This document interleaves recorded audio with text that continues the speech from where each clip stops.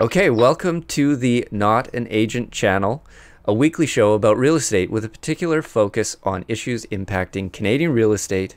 We are not, not financial advisors. Please consult your financial advisor before making any investment decisions. Don't make your decisions based off YouTube videos. Rule Good number job, one. Thank you. My reading skills are intact. So the first topic we were going to talk about is full schools. So we're seeing this in Vancouver, in Calgary, Winnipeg, across large portions of Canada. We're seeing full schools. So cla- classroom sizes have reached the breaking point. Uh, we're finding that we, and sometimes it's localized in areas of affordability.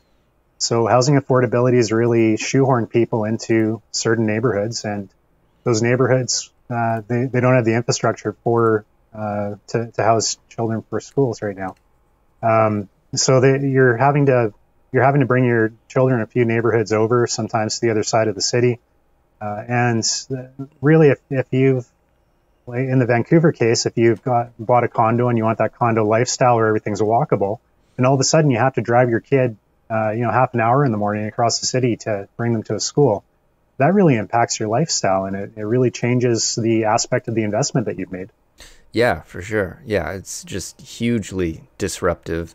I mean, yeah, getting the kids ready to work, uh, to go to school, and you getting ready for work, and you know, uh, both parents working, you know, two or three kids going to school, going to different levels of school, elementary, middle, just a complete nightmare. If like having kids close to schools is a great luxury. Like if you can have your kids walk to school, Right. makes everything easier.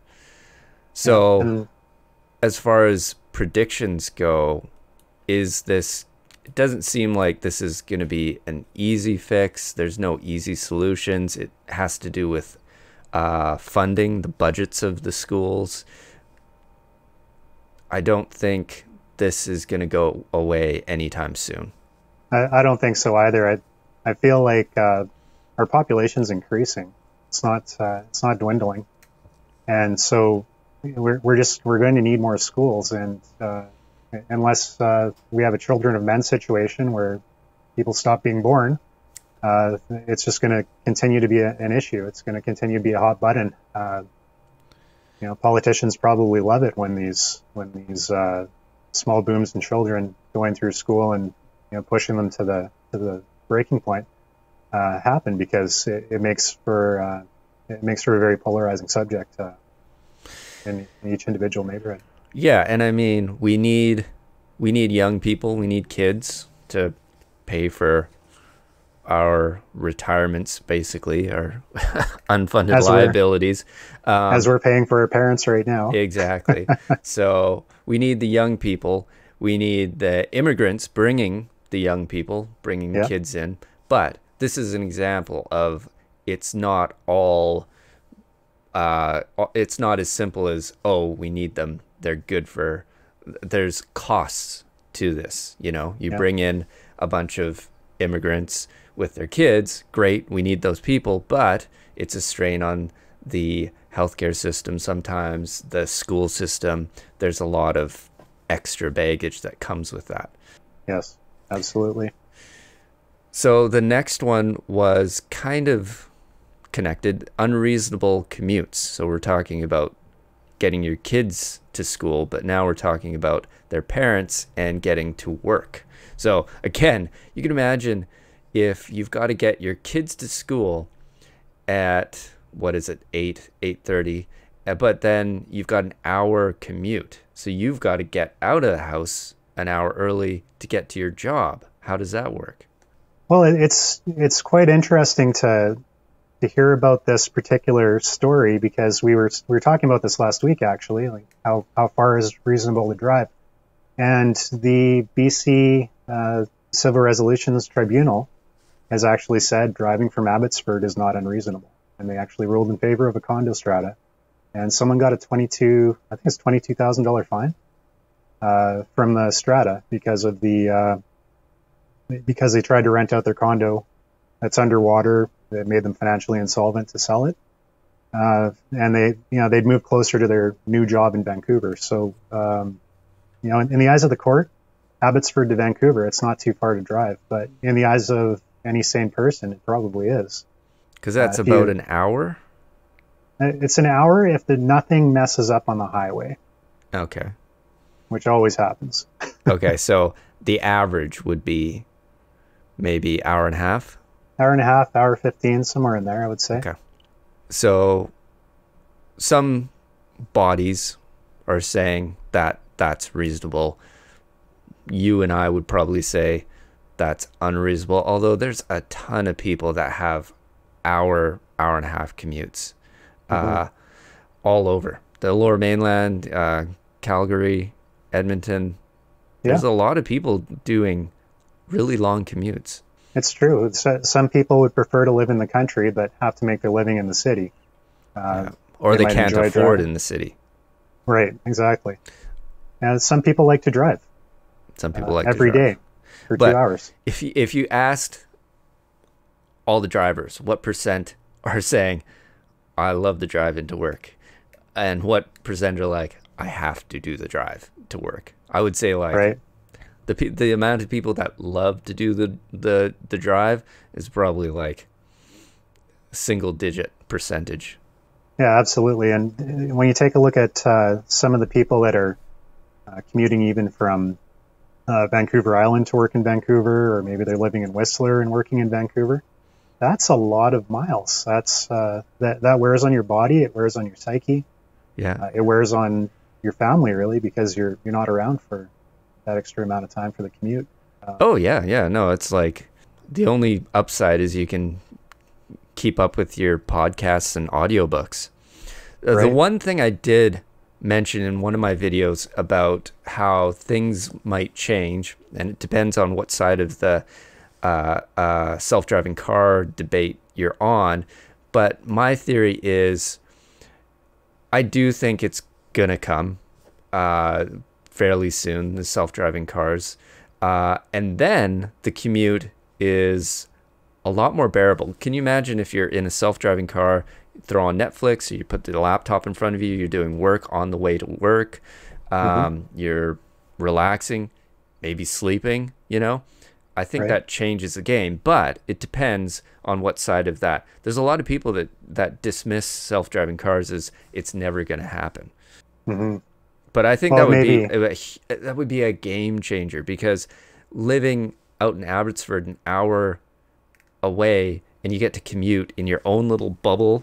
I think the the percentage of people that love the commute would go from single digits to like maybe over 50% because you get this you're in the car, you're commuting, you get to just have alone time. You don't have mm-hmm. like the family in your ears.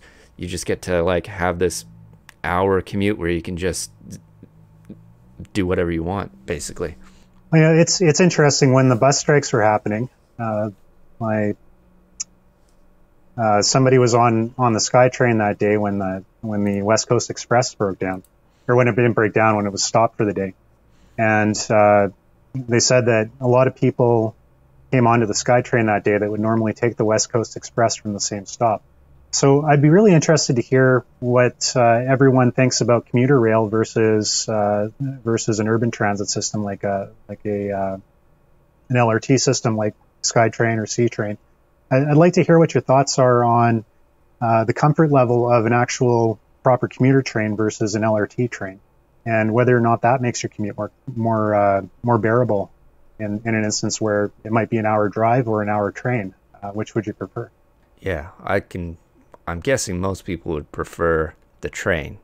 I guess the downside of the trains is if you're you're changing trains, uh, right? But I, you're not doing that so much in the Lower Mainland. No, no, no, it's a straight shot for the most part. So if you've got an opinion on that, leave it in the comments. And if you have an opinion on if self-driving cars are actually going to happen, leave that in the comments. So I think we'll get flying cars before we get self-driving cars. Oh yeah.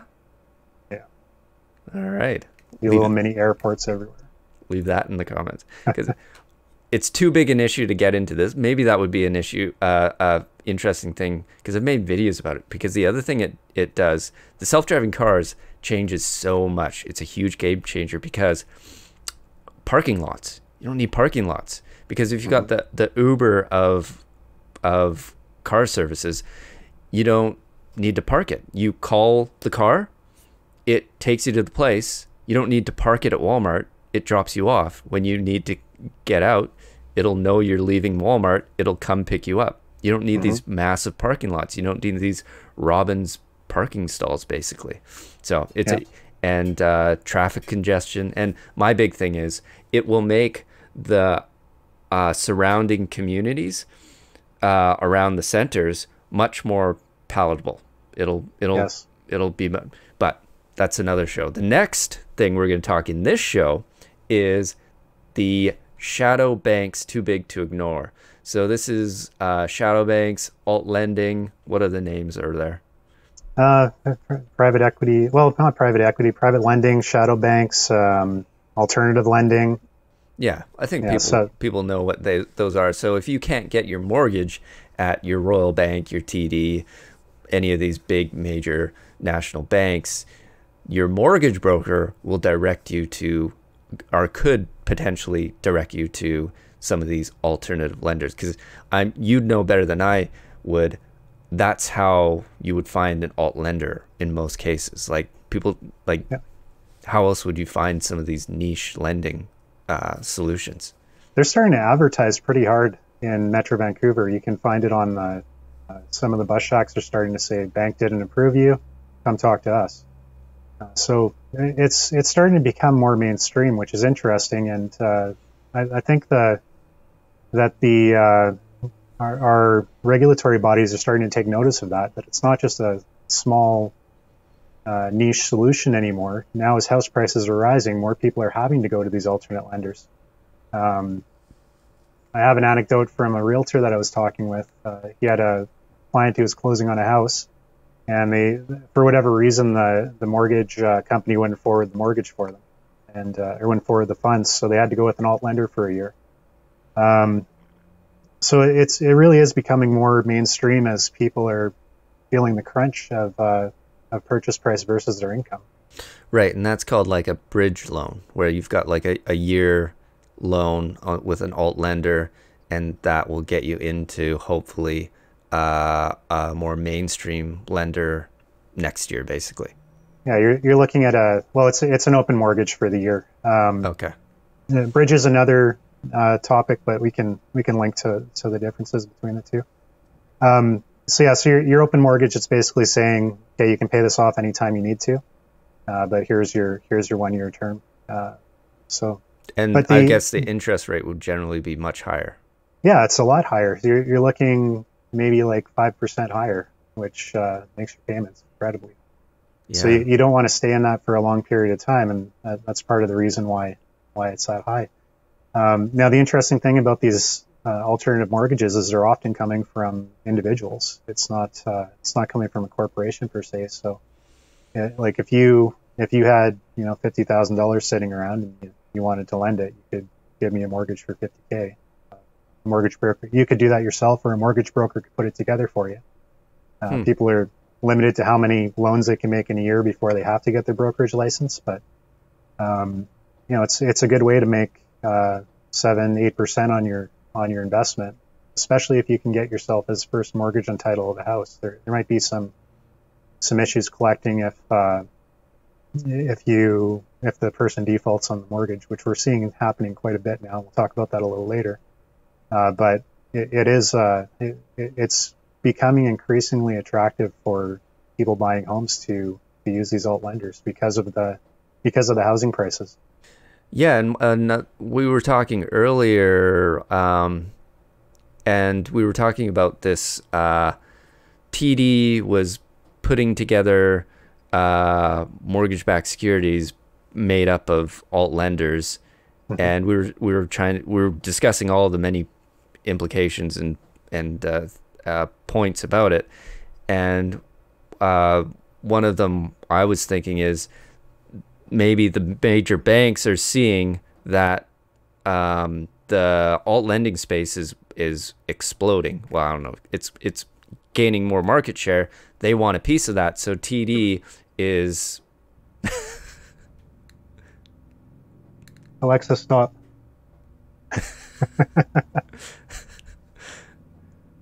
Twelve o'clock. I'm gonna I'm gonna leave that in. All right. um, uh, anyways, so TD is seeing that the alt alt lending space is taking off, and my theory was that they're trying to get a taste, so they're they're um, packaging these alt lending mortgages, which should sound kind of scary to anybody who knows what happened in the United States uh, a decade ago. Yes. Yeah, so definitely something to watch, and uh, you know, as as uh, citizens, that where if our financial system fails, everyone's going to feel the pain. I, I, would encourage everybody to keep a close eye on that, uh, especially if you have uh, if you have an interest in how stocks are being rated. Uh, it, it's very important to not allow these uh, mortgage-backed uh, securities to to start taking on poorly rated poorly rated uh, mortgages because if that happens, people start defaulting. It's, it's disaster. Yeah, and the thing is, you uh, like in The Big Short, they kind of uh, uh, put a light on, is the rating agencies are competing against each other. Uh, so if they won't rate it AAA or whatever they want, they'll just go down the street. So the thing is, they the one of the points of that movie or that actual real life incident was that it took somebody to really look inside those and see what the what what was making up all those mortgages. And right. if you've just got a slapped a AAA rating on it, you don't know until you open the package and see what's inside. It was those people who opened the package and took a look at what's inside that shorted it. So right. the question in Canada is, what is it like? Maybe it's not that bad, but maybe it's bad. You know, mm-hmm. we don't know. Mm-hmm. So the next one we were going to talk about is sold for half, and you were telling me about this, so I'll let you go into that one. Uh, so there, there was, if you recall from, uh, I think it was about a year ago now, uh, there was a student who owned a three million dollar mansion, a student, um, and sold it to another party, and that party didn't complete the sale. Uh, so a judge granted damages to the to the student uh, in the, to the effect of five mansions that this other person owns. Five mansions, um, or, or maybe properties, but they're you know highly priced properties at any rate.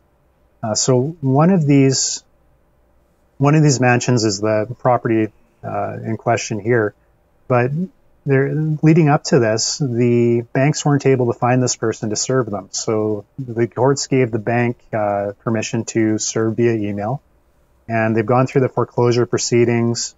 February 14th, they took the house uh, and then they've sold it. Now, uh, I think the, the house originally sold for around three, three million. Um, the, and the, uh, the company that uh, foreclosed on them was owed around 20, 27. Uh, originally, that was the original loan, or 2.7 million rather. That was the original sum of the loans. Um, they just sold it yesterday. Uh, the house sold for uh, 2.1 million, I believe. So it's you know it's below the original purchase price, below the amount of the loans that were taken out. So somebody's underwater here. And if you look at the title, uh, the title for this property, there's not just one mortgage on this property. There's multiple mortgages. Money's been shifted around a bunch of times. So now, when when you look at when you look at your previous video, Daniel, when you're with the uh, you know the top top end pushing all the prices down, right? Mm-hmm. So this is a three million dollar house that was valued at four million that now sold for two million. Mm-hmm. Okay, so when we're talking about homes, a lot of the benchmark that we say is, you know, anything under 2 million is affordable. Mm-hmm. And really that's what's moving right now. So we've just pushed that ceiling down quite a bit. Mm-hmm. Um, you're, you're getting that house, uh, I think, I think it's in Shaughnessy, but it's, it's a big mansion. It looks nice. Um, and it just sold for 2 million. So who's going to pay 2 million for a teardown house now? Quick correction after reviewing that. Uh, I don't want to leave you with an incorrect impression. So, the uh, the mansion was originally put up for sale for eight million in 2016, and it was sold for half of that at about 4.4 million uh, just a few days ago. And the amount of the loans that were outstanding that were granted, not outstanding, were 2.15 million and point uh, well 350,000 for reliable mortgages. Yeah, yeah, yeah, yeah. And uh, the other thing we were talking about with this is uh, how the bank did. Like, if they had the down payment and they'd been making mortgage payments, maybe the bank was made whole with the $2 million sale. Maybe, but if you look at the amounts of money that have been borrowed against it, um, there would have had to be some very large balloon payments. So they, so the bank was probably just trying to get out with what they could. Yeah, and when banks try to get out with what they can, that's a domino. Right, right. Because if they had if they had confidence in the market, specifically this segment of the market, this is like the high end, they would they wouldn't just take 2.1 million or whatever it was. They would wait. Or, or if they had any sort of resiliency right. So that is one to watch. Well, everybody's watching that one to see what the, the top end of the market, if it's going to push down on the rest of the market. Uh, so the next one we're going to talk about is Berlin rent freeze. I think maybe most people have probably seen this. So what uh, what's going on there? So in, in Berlin, they they've frozen rents for uh, 1.5 million apartments. Uh, so when the Berlin Wall came down, East Berlin was was very much uh, a low rent uh, area where artists would go. Uh, really, a cultural mecca for that reason. Um, and you know, as as time goes on, and with with things that have been happening in the world, uh, property prices have been skyrocketing. So the uh, they they put a rent freeze in place to keep things affordable and you know, per, try and prevent housing crises that have been seen elsewhere. Uh, the party in power uh, is has criticized this move, though. So I think we're going to see some court challenges uh, against this rent freeze, and it's possible that all these renters that are paying a low amount uh, could be subject to uh, back rent if the uh, if that order has been gets Ooh, reversed. That's so, a big mess. That's yeah big mess. I think uh, uh, that uh, Germany Germany is one of those countries that has a very high percentage of renters. Yeah, absolutely. It's uh, it's quite high. Uh, like you you hear people come here from Germany and they're renting and they don't understand why there's a stigma against renting. I, I don't understand either. But uh, well, I think one of the things is that they have so much rental that the renters have clout. It's right. if they have if there's more renters than landlords and and they all vote, you know, they have clout. Whereas mm-hmm. in Vancouver, 50% of people rent. Mm-hmm. Uh, this is a long discussion, but 50% of people rent in Vancouver, okay? So it's kind of 50 50. You've got these two forces, you know, people, right. the haves and the haves not, have nots, right? Mm-hmm. So it's kind of balanced. Whereas in, in Germany, it's uh, the, the renters have a lot of clout and it makes sense. Why else is a government going to uh, uh, freeze the rents for 1.5 million people? It's mm-hmm. because mm-hmm. of this, right? Right. So if, if this resolution holds, uh, resolution bylaw, whatever you want to call it in Germany, um, I think that you're going to see a Berlin, at least Berlin, if not other areas too, but you're going to see a housing market crash there, and this might be the black swan that does it. Oh yeah, oh yeah, that's that's definitely one to watch, but it's got to go through all the, jump through all the hoops, and uh, you know. So the next one is switch switcheroos. What's uh what's oh yes, the switcheroos. This one's a good one. This one's a good one. Uh, so this is uh, a Facebook post if you're in the Facebook groups, the real estate Facebook groups, you might have seen this one. I'm going to throw up the picture of what was sold to them, you know, the the Nice brick, the uh, render, right? The render. Nice brick facing. If you notice along the top there, you've got a nice big overhang to uh, block out the sun and keep the rain from leaking inside of your condo. And then if we look at what you're actually what you actually got, what was delivered, Yeah. It's a looks little like- bit different. it kind of looks like insulation tacked on the outside. Yeah, yeah. It almost looks more like a school. Almost. Yeah, it almost looks more like a, a school. Um, yeah, so buyer beware or at what point do they realize, okay, you've bought into this?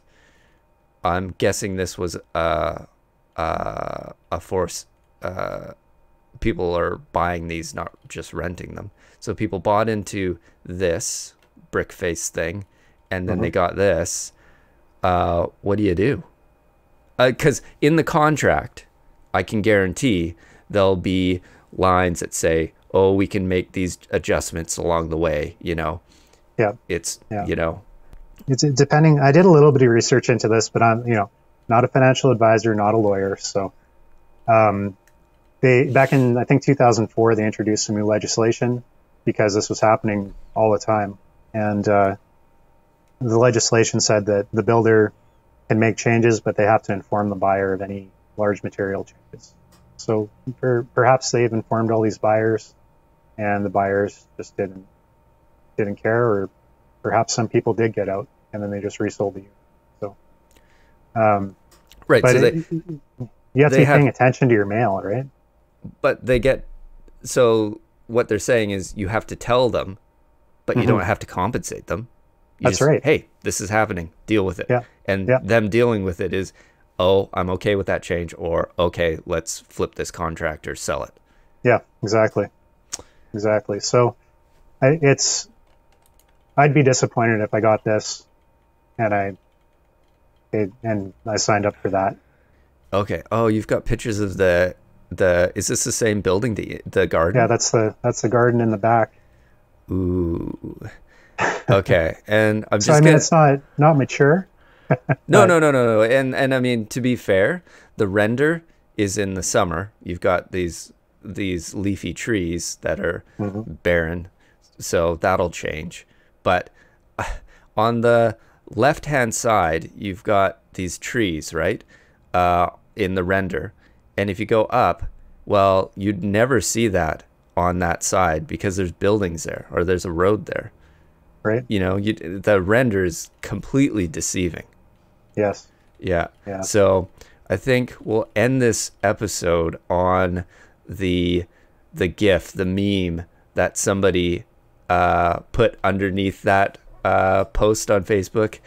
It's uh, the Avengers. Reality is often disappointing. I love that. Whoever posted that, kudos. All right, that's it. Anything you want to end the episode on? Well, I think uh, you know if, if you have any news articles that you'd like us to cover next week, leave them in the comments below. Uh, we're always happy to see what's happening across Canada, um, and we'd love to discuss it. So, yeah, I guess this has been not an agent. It has.